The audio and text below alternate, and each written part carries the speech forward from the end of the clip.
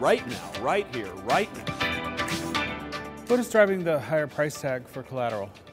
So I think a couple things are driving the higher price tag of collateral. Obviously, with the regulation going into play, volumes are a lot higher. Um, and so the operational complexity is there. And so, you know, people are spending a lot of time on, you know, the ops personnel as well as the systems in order to process the collateral. At the same time, you know, you, you see interest rates potentially rising, um, the vo collateral volumes are higher, and so there's potentially a drag on the fund's performance that also needs to be considered when looking at the cost of collateral. What are some strategies that would help operations staffs stay on top of this challenge? So I think first and foremost, each firm should define what their collateral strategy is, and part of that is defining what the success criteria is. So each institution and each fund may have different uh, profile in terms of, you know, what are their current operational capabilities, what are what assets do their funds have available to them, and therefore what are the unique challenges that they're looking to solve. Um, once they identify what the challenges are or what the issues are, they can then say where they want to go, and then you know then implement that plan by potentially reaching, reaching out to different um, partners in the industries, then reaching out to the you know different external partners.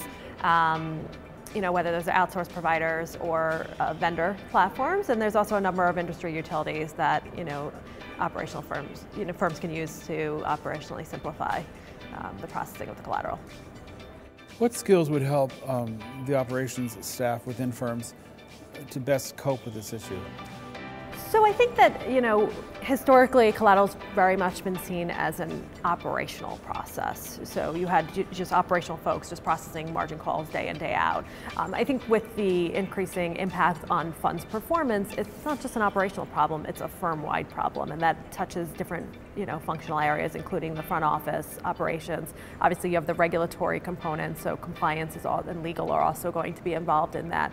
So I think one of the most important things is for firms to pool together the collective resources and knowledge of different people within their institutions. Um, and so what you see is a lot of uh, organizations are forming cross-functional working groups around collateral that are, you know, working together to come up with that collateral strategy and then, you know, implementing systems and, and technology to handle. So they collectively come together and, and, come up with you know what that exact solution is. How will the cross-functional approach bring down the cost of collateral? So I think the cross-functional group, it doesn't directly bring down the cost of collateral, but if you're pooling different expertise within your organization, you're addressing you know the, the larger scope of problems. You're not looking at just you know how do I operationally process a margin call. You're thinking about how do I operationally process a margin call? What assets should I be posting? You know, maybe you were originally using cash because cash is really easy to post, but maybe you should be posting securities. And then if you want to post securities, you know, how does that fit into the the profile of the fund and you know how are you sourcing those assets in the front office so you start to have more options in terms of how you address your collateral strategy from an operational perspective when you're thinking more holistically about the challenges that specific fund may have and how do you overcome those challenges